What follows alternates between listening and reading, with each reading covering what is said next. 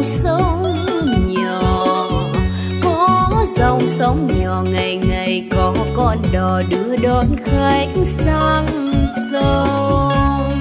Khách sang sông, có lắm khách đa tình. Ngõ lời ống bướm, ngõ lời chẳng rõ với cô lái đò đưa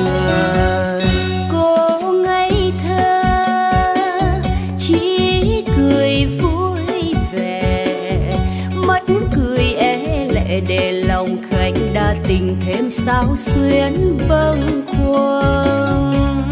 Bước sang sông, khách chẳng muốn lên bờ. Quên giờ, quên giấc, quên trời, quên đất với cô lái đò đưa. Cô lái đò đưa đò đưa qua từng bến cạn, qua từng bến sông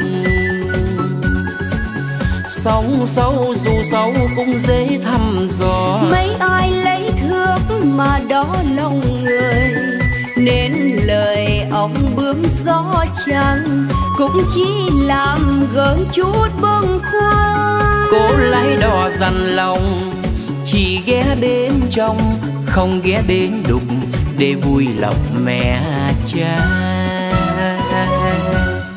Qua năm sau chàng khách lạ. Dáng người nhỏ nhỏ, chàng nghệ sĩ lên đò vải khoác áo phong xưa. Nghệ sĩ sang sông, cô lấy thấy tiếng rung đồng bỏ thuyền, bỏ bến, bỏ chèo bỏ lái, cô gái bước sang bờ.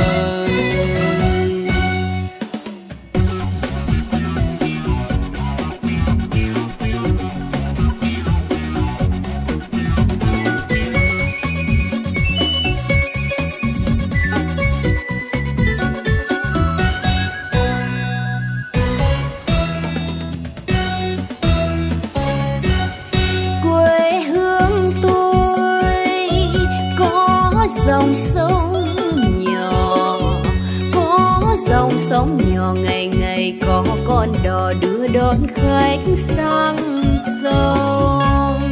Khách sang sông, có lắm khách đa tình. Ngõ lời ống bướm, ngõ lời chẳng rõ với cô lái đò đưa.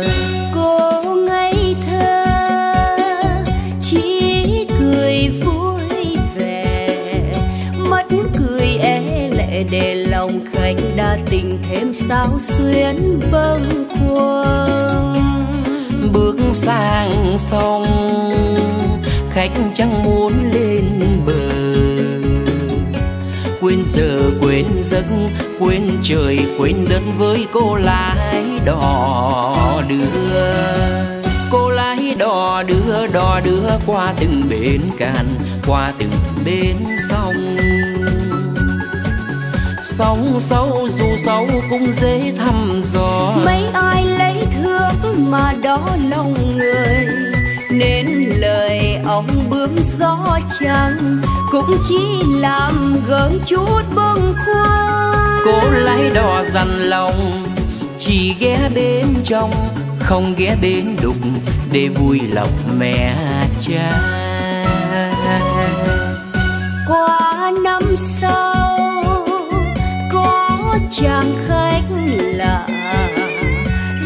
người nhỏ nhỏ chàng nghệ sĩ lên đò vải khoác áo phong xưa.